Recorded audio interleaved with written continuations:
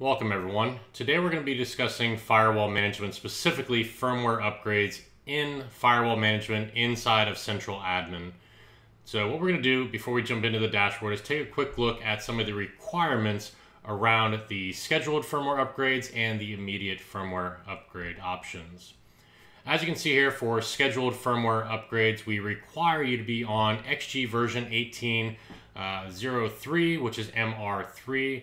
Once you're on MR3, anything above that, you can actually schedule the upgrade. So moving from MR3 to MR4, we can actually go in and schedule that upgrade at a specific date and time.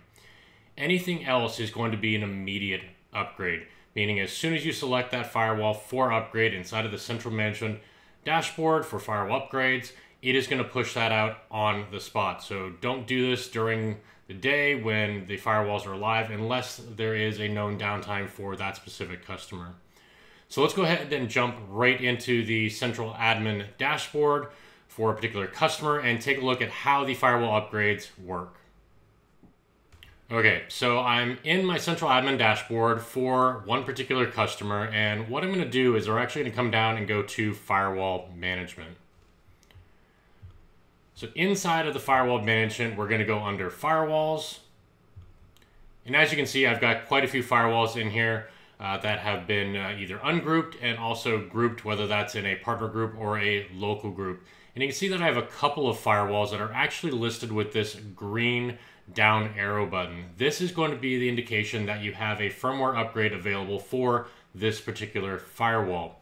Now, if I was to click on any of these particular firewalls, as we can see here, this one is on 17.5, this one here is on 18, but not MR3, it is just a GA release. I can also see down here in my partner managed group that I have another firewall that is currently running MR3.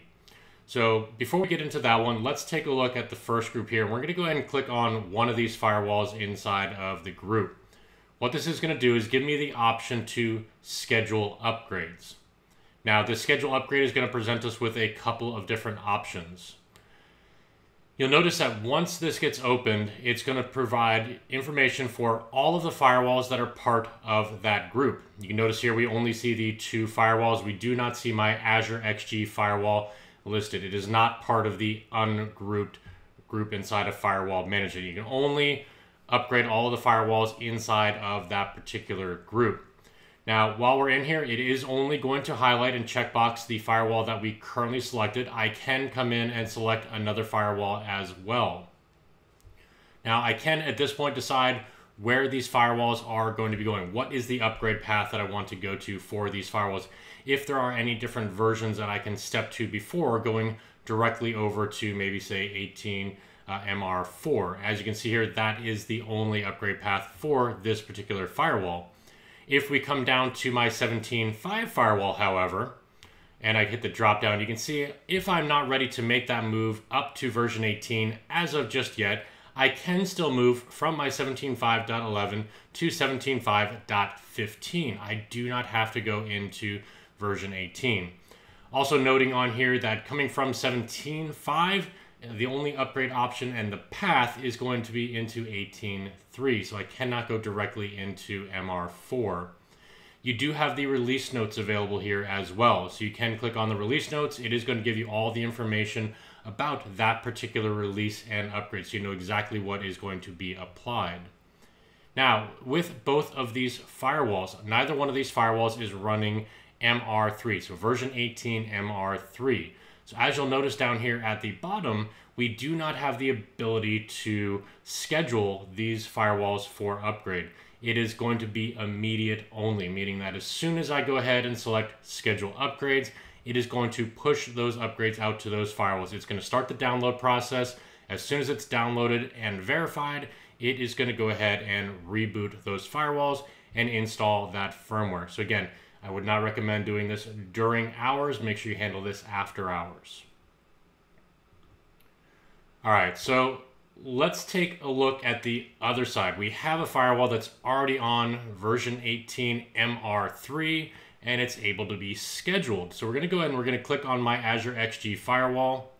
We're gonna go ahead and select schedule upgrades. And you can see here, this is now going to show me the version that it's currently on, what I'm going to be able to upgrade to, the release notes. It's also going to show some additional information on here with the time zone. So I know what the current time zone of that firewall is. The scheduled updates will always be done at the time of that particular firewall. So if you set that at midnight for a particular day, it's going to be midnight for the time zone of that firewall. So in here, we can see that I do have the ability now to schedule the firmware upgrade. I can go ahead and hit the little calendar. I can select the date that I want to schedule as well as the time. So we're going to go ahead and we're going to schedule the Saturday, the 16th. And maybe I want to have this done at midnight. So we're going to go ahead and select 00 and 00 because I want that to happen again at midnight. And you can see down here at the bottom, it is going to let you know that the upgrades are going to be done respective of the time zone of the particular firewall and here is the date and time that it is going to be carried out on that particular device. So again, from here, I already selected the 16th. As you select the date on there, I will have to just click on the 16th again. That will drop me back out of this. You could have selected the time prior to uh, going in and uh, making a change to the uh, date and then coming back into it so you can get that all in one step. Now that I have this selected, I can actually go ahead and hit schedule updates. Now, this update is going to be scheduled for this particular firewall at that particular time. Now, what we're going to notice in the dashboard, and this is updated, we can see these ones still have their icon for downloading and the ability to upgrade the firmware. Notice here that my version 18 MR3 firewall has changed from that download symbol into a little clock on there. This is going to let me know that I have a scheduled event for this particular firewall for firmware upgrade. If I click on that, that's going to let me know that an upgrade has been scheduled. It's scheduled in the next four days. Here is the time that it is going to be pushed out and upgraded on that particular firewall. It's going to be done at Eastern Standard Time, and it's going to be upgraded to version 18.4. At this point, if I need to edit this particular schedule, I can do that here. Or if I need to cancel that particular upgrade, Again, I can do that here as well. We can see there was a last schedule on this one that was canceled. So it will give you some additional information if this was scheduled prior to and maybe had to be canceled for any particular reason. Once all of your firewalls again are up to MR3 and they are all in the same group, we can schedule that upgrade across all of the firewalls for this particular customer. Now, again, this is going to be at the particular customer's central admin dashboard level. Uh, later this year, we will be introducing partner level management controls and firmware upgrade features inside of your Sophos Central partner dashboard. Uh, look for that more to come. Hope you enjoyed this. If you have any questions, please leave those in the comments or reach out to your MSP team. We'd be happy to walk you through anything. Have a great day. Thanks.